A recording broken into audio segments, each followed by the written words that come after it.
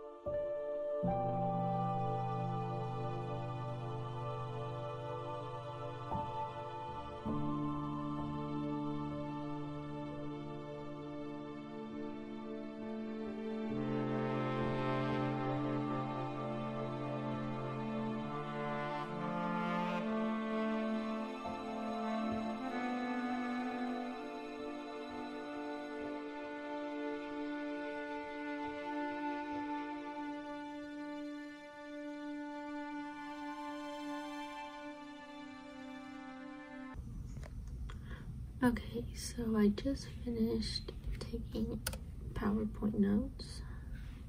Now I'll probably just watch the lecture.